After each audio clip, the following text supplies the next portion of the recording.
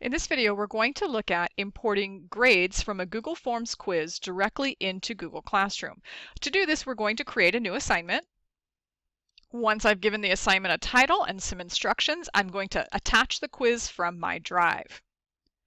If you have created a form and set it up as a quiz, you will see this option here. If the form you created was not set up as a quiz, you will not see this option.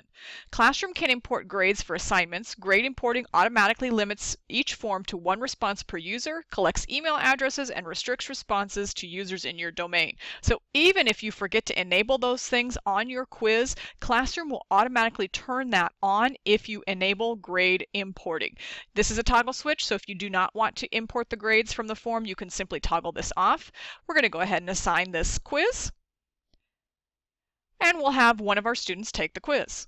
We can see that one of our students is done with the quiz. If we click on done, we can see here that Rachel is the student that's done with the quiz, but we don't see any grading information for Rachel. Now we can always access the quiz here and go to Google Forms and view the responses in Forms itself, but now you'll see this import grades button right here. We'll go ahead and click import grades and it's asking are you sure you want to import the grades and it will it's telling you that it will overwrite the current grades in Classroom for this particular assignment. We don't have any grades entered in for this assignment. So we're going to go ahead and say import. It's going to go out and it's going to find that quiz um, in my Google Drive. It's going to look at how many points possible that quiz was. It's going to change the points possible for this particular assignment and it's going to import any grades that from any students who have taken the quiz um, into Google Classroom. So here you can see that it went from 100 points to one point because that's how much the quiz was worth. And here you can see that Rachel got one out of one. Now now, if I wanted to see the responses in forms, I can go ahead and click on View Responses. I can go to the responses and here you can see a summary. I can even see each individual student, how they answered the question and their total score. I can see all of that still in forms.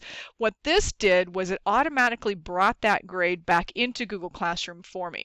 Now I can actually go ahead and return that grade to, Google, to Rachel. I can leave a private comment if I want to and click return. So now Rachel will see that grade in Google Classroom. If we switch over to Rachel's account, here we can can see she's finished the quiz. She can open her, she can view her score here, or she can open this assignment to see the score as it was recorded. So here again, one out of one, she received that grade for that particular assignment. So using a quiz in Google Classroom will allow you to import the grades directly from the form into Google Classroom.